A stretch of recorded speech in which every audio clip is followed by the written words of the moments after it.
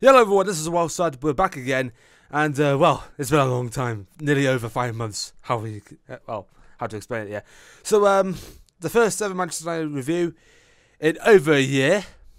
That's right, it's been over a year, and um, a brilliant game, brilliant game. We won four 0 against West Ham. Not really that much to brag about, but it's a good game overall. Romelu Lukaku got his first brace take that, Alvaro Morata, and anyone who dares to criticise him again. Um, Anthony Martial gets a goal, brilliant. And uh, Paul Pogba, no longer the world's most expensive player, but still got the goal in. And as a result, we are top of the league. It's a little bit of a shame, really, because um, before we got to the top of the league, this game, Huddersfield were actually top of the league by winning 3 0 against Crystal Palace. And I felt a two 0 win before the before this game would have been satisfactory for us. We're not we won't be top of the league, but it will be a good start for us. But instead we win four pissing nil. Oh goodness gracious me! Um, where to start? We had plenty of chances uh, left and right. West Ham also had plenty of chances left and right. Pablo Zabaleta was a pain in the neck. Well, that's all. He was a former Manchester City player, so you can't really blame him for that. Um, Joe Hart still has it.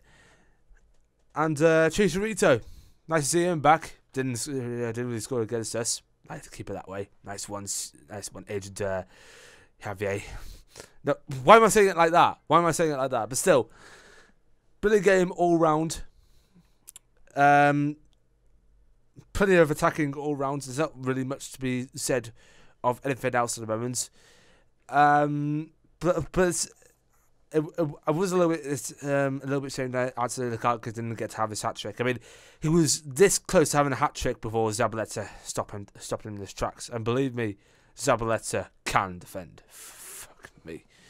So um, what's our next task? Just have a look at the um, look at the schedule. I believe it's Swansea, is it? Uh, on Saturday, 19th of August.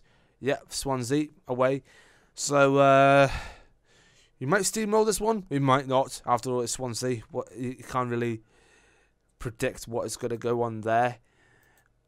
And uh, then um, next and then the Saturday afterwards, we're home to Leicester. So might be a fairly easy month for us. I'm not too sure because Leicester barely barely just lost to Arsenal 3-4 4-3. Uh so um, I, I don't really know what to expect there. Right, um, I'm going to end this now because because I haven't really got much to talk else about it, other than the fact that we're top of the league again, and um, yeah, just gone over just gone over three minutes according to this. Hope you like the different uh, camera quality, and uh, yeah, I'll see you soon. Ta-da!